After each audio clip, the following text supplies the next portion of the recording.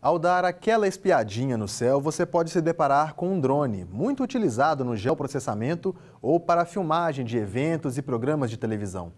Mas para utilizar esse equipamento da forma correta e nos locais permitidos, é bom conhecer a legislação. Entenda na reportagem de Silvana Monteiro. Um pássaro, uma mosca gigante ou um disco voador? Nenhuma das opções é um drone. Apesar de parecer uma novidade e se apresentar como uma ferramenta das novas tecnologias, a invenção é herança da Segunda Guerra Mundial. A criação dos drones foi inspirada nas bombas voadoras usadas pela Alemanha.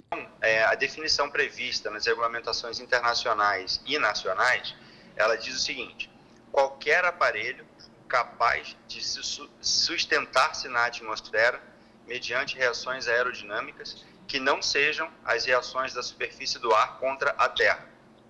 Então, o drone ele se, ele se enquadra nessa definição e por esse motivo, internacionalmente, ele é visto definitivamente como, como sendo uma aeronave do uso unicamente para fins militares no século passado até os dias atuais, essa tecnologia vem sendo cada vez mais aprimorada e utilizada. Nesse quesito, o Brasil não fica para trás. De acordo com a consultoria Gettner, 3 milhões de dispositivos devem ser vendidos por ano até 2020 no país, gerando possivelmente um faturamento de cerca de 11,2 bilhões de dólares por ano. Cada vez mais os drones têm sido utilizados por profissionais de diferentes áreas. É importante que as pessoas conheçam sobre segurança, legislação, configurações e prática. Aqui, por exemplo, neste curso em Belo Horizonte, temos a Renata que vai fazer o uso no mapeamento aéreo, o Saulo no audiovisual e o Rui na engenharia. Os drones se dividem em categorias, considerando-se o volume do aparelho. Para pilotar aqueles com até 25 quilos, não é obrigatória a participação em um curso preparatório. No entanto, mesmo se utilizados para recreação, os drones não podem ser tratados como uma brincadeira. Os drones eles estão longe de serem brinquedos. Hoje a pessoa precisa ter mais de 18 anos para pilotar uma máquina dessa e conforme nós estamos conversando, uma qualificação adequada profissional hoje desqualificado, sem a formação técnica adequada, ele pode estar invadindo, estar invadindo o espaço aéreo, é, ele pode voar com seu drone descalibrado, isso que pode prejudicar bastante no voo e pode também trazer riscos a pessoas que estão ao redor. Duas agências reguladoras e um departamento federal ligado ao Ministério da Defesa determinam as regras para o uso de drones no Brasil. A ANAC, por conta da questão toda da aviação civil, né? o DCEA, que faz o controle do espaço aéreo, e a Anatel, é, por conta das frequências de rádio, controlam os drones. Então, os equipamentos hoje eles têm que ser homologados pela Anatel. Né? Então, os drones que voam no Brasil eles têm que estar homologados, registrados na Anatel. Ah, quando traz algum equipamento de fora, é interessante e necessário fazer o registro na Anatel exatamente para isso, né? E a gente tem várias categorias de drone, né?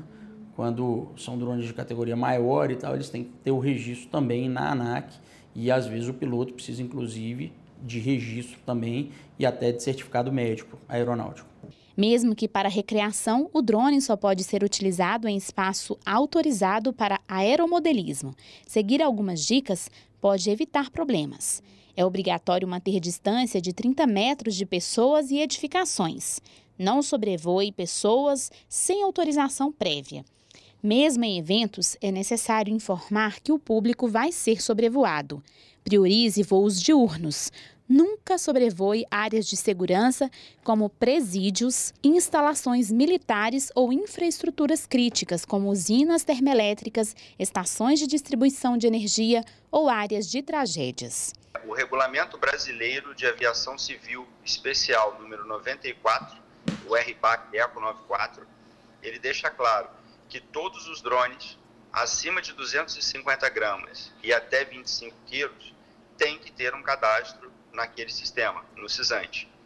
Então, acima de 250 gramas e até 25 quilos, independente do tipo de uso, seja ele recreativo ou não recreativo, ele vai ter que ter o cadastro lá, vai ter que ter a homologação da Anatel e, a partir daí, com essas duas situações em mãos, com esses dois documentos em mãos, aí sim o usuário vai poder ter acesso ao espaço aéreo brasileiro.